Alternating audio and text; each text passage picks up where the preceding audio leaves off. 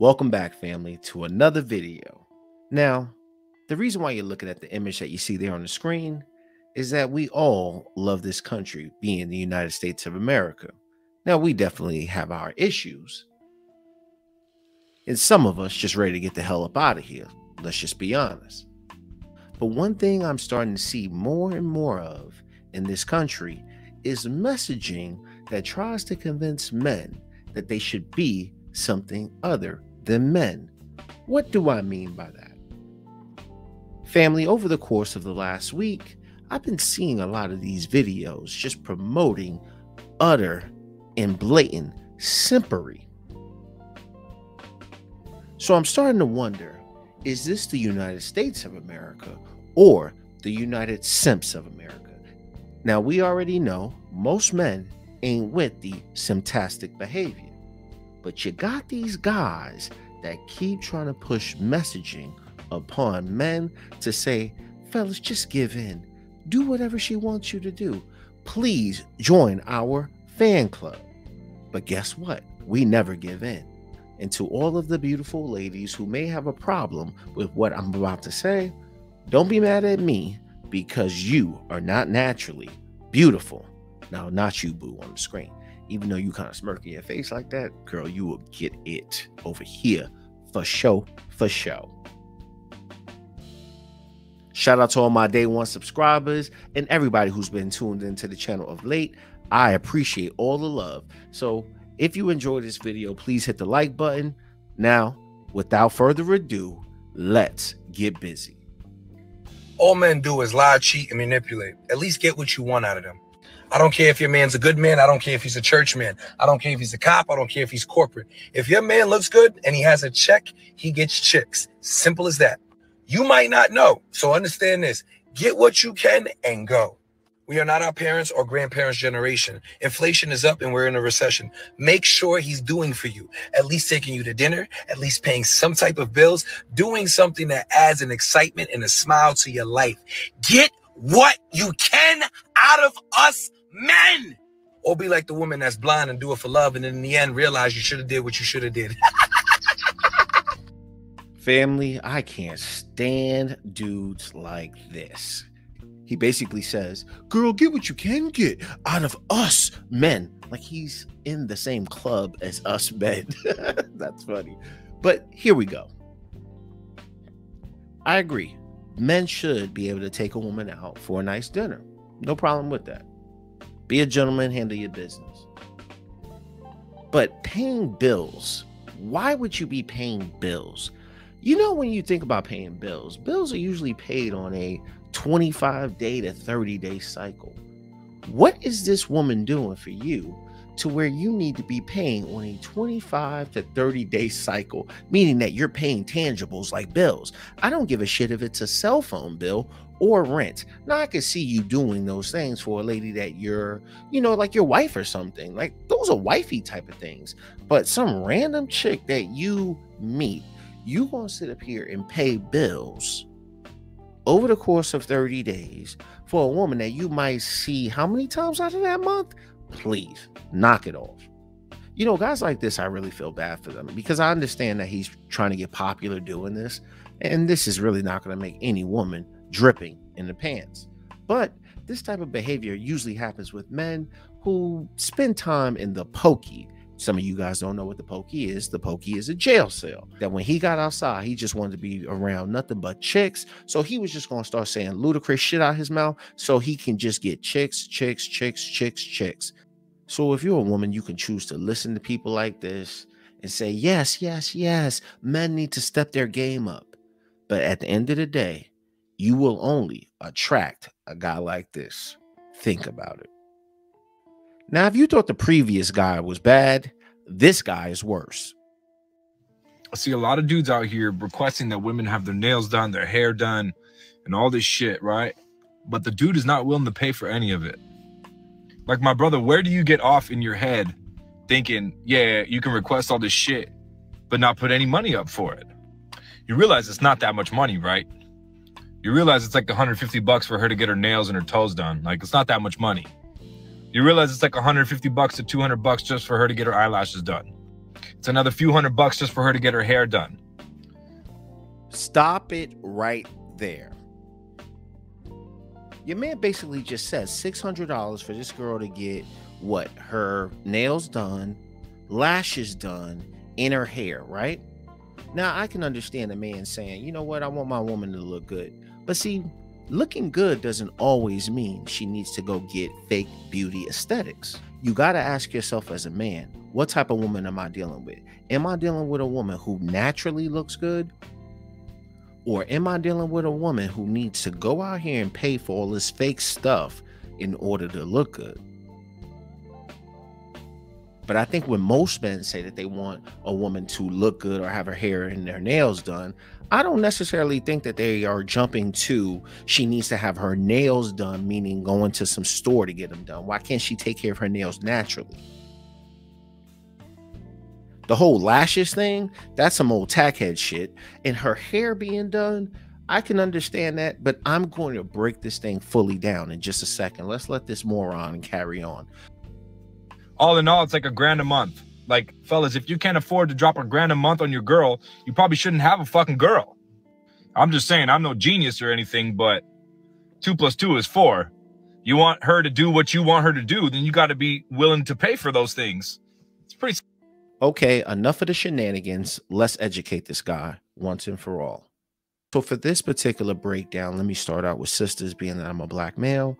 I've been in two long term relationships with sisters one, my child's mother, and then another long term relationship with a sister, right? So, in both examples, one of them had dreads and another one had like the curly fro that you're seeing right there on the screen both of these women they put a lot of stock into what they put into their body meaning that they tend to eat a lot of organic food fruits vegetables so they take care of their body with a lot of the foods that go inside of themselves. In in turn what i started noticing was that these women they both had this natural glowing shine to them because of the food. And i wasn't the type of guy to eat all of these types of foods. Yes my father you know had a lot of organic food in the household but my mom's wasn't really on that. So i was educated by my father about you know a lot of the fitness type of stuff really comes from what it is that you put in your body.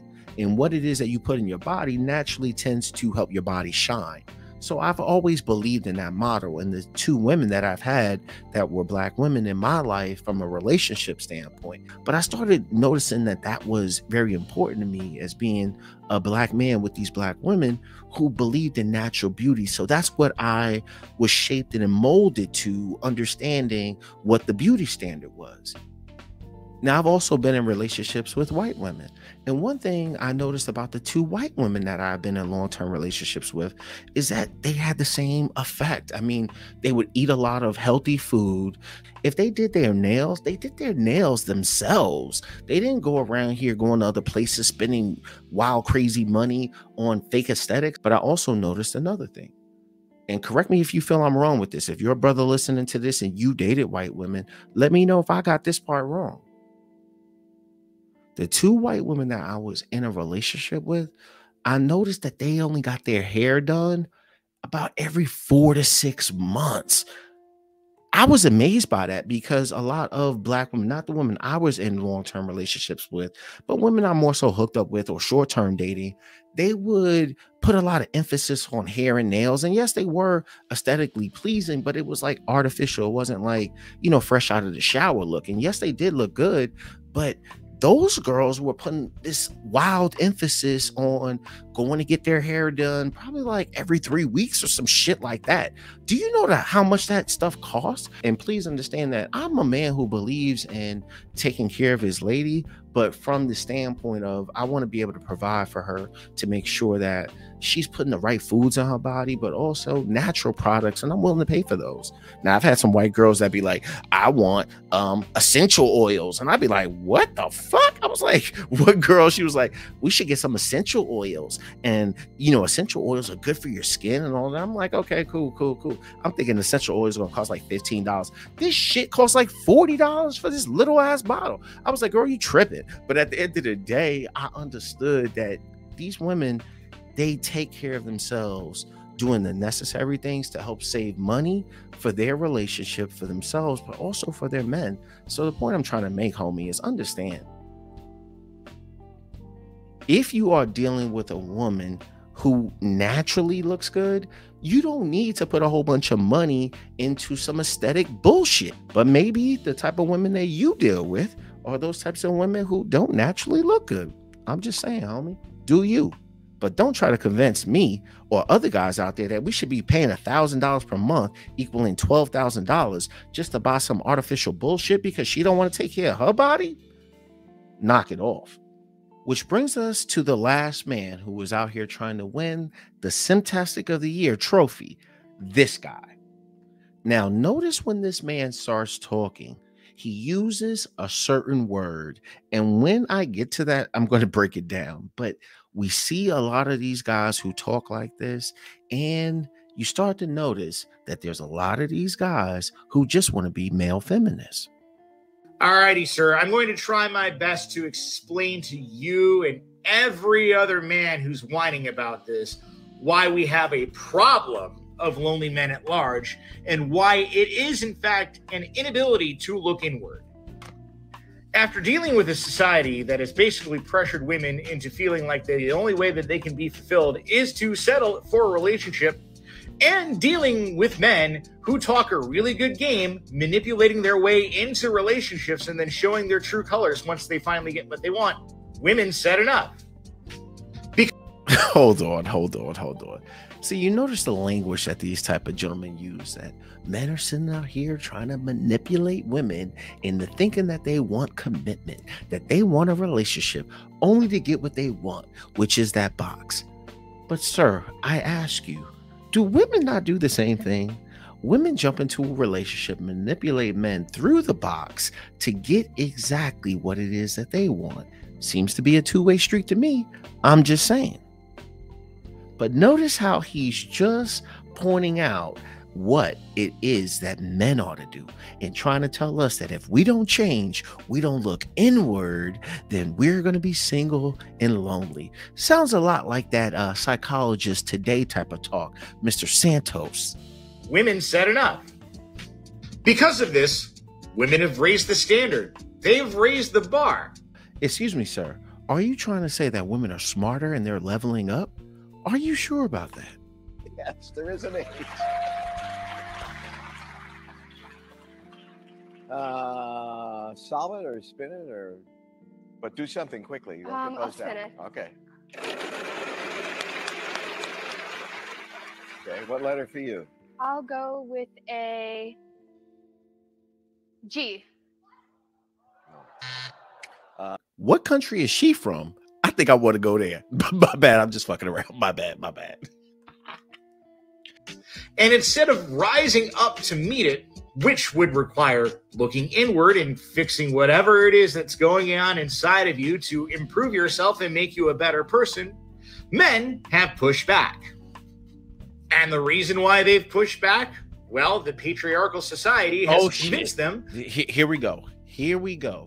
Have you ever noticed that every time one of these male feminists are talking, it's always like men need mental health or um the problem is the patriarchy. And another word that they or another phrase that they're starting to use when they talk about patriarchy is male dominated society and they twist these words around like they think we're stupid. But every single time it's always like men need to do better.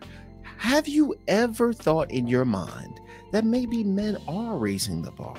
Men are raising the standard to say that we know what we want, and if they can't meet those standards, they're the ones that's going to be single and lonely because men are choosing not to be in relationships with them. But see, they never want you to think that way.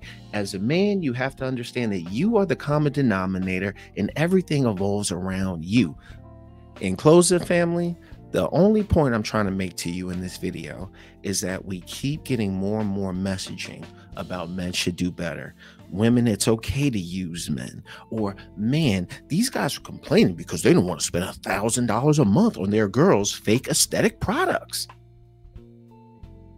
So keep trying, Mr. Simptastics, but these men are deciding things for themselves. Until next time, fellas, keep doing you. I'm out. Peace.